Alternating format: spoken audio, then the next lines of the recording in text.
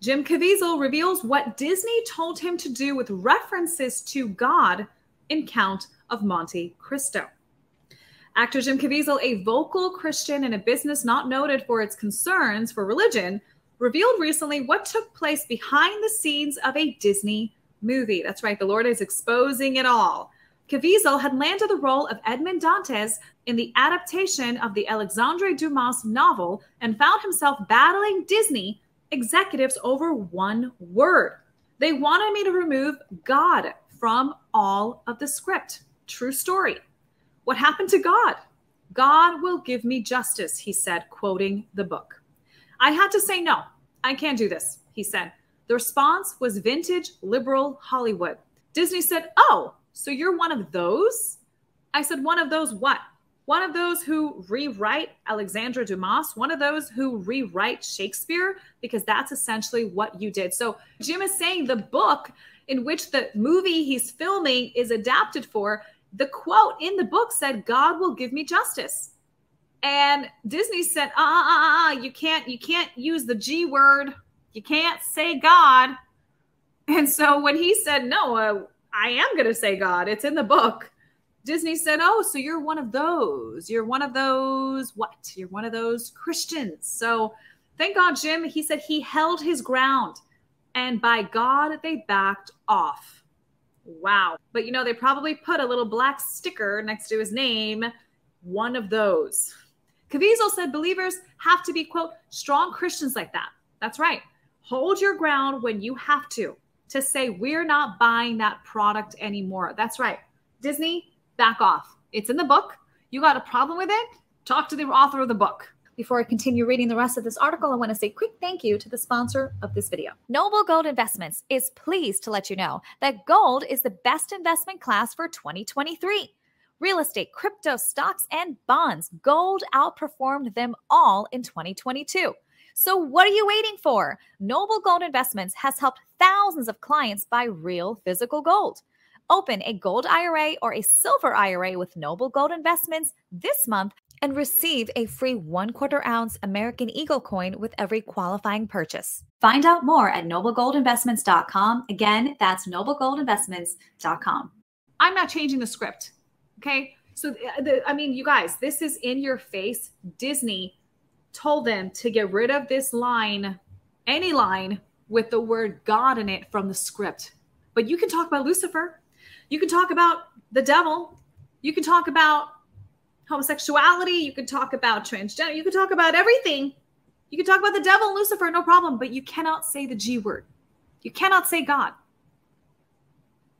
Unbelievable. But at the same time, believable. Unfortunately, these are the times that we're living in. So thank you, Caviezel, for everything you're doing. Thank you for standing up for Jesus. Thank you for standing up for God.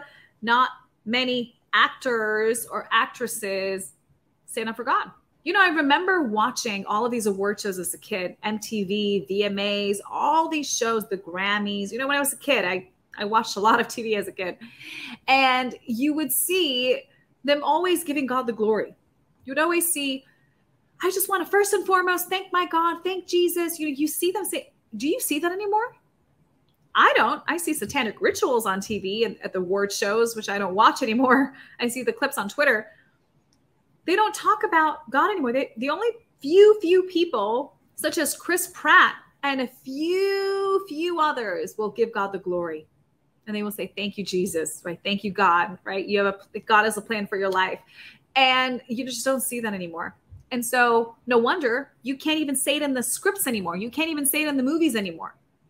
You can't say it in the movies. You can't say it at the award shows. All you have is debauchery and evil and the devil. You have shows on TV called Lucifer. You have blood and gore and all that stuff on TV, and you have violence. That's why people are so numb. That's why when you see a video of someone on Twitter, someone is being attacked in the subway, being raped and killed, and no one steps in, everyone's just watching. It's because people are so numb.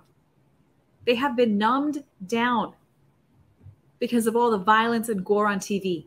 They think they're watching a movie because all they do is watch movies. All they do is watch Netflix.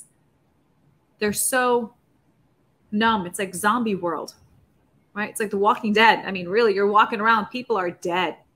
Bible says you're dead in your sins, right? But the wages of sin is death, right?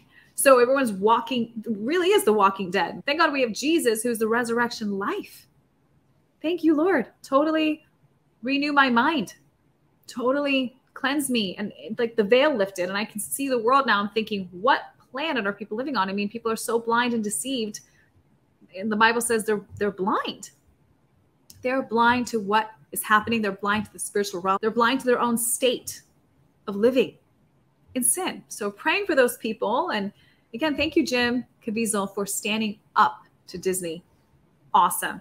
That is a man of God. That is the boldness of the Lord. That's why he's called out for such a time as this. And many others watching right now, you guys are called out. Thank you for standing up for Jesus.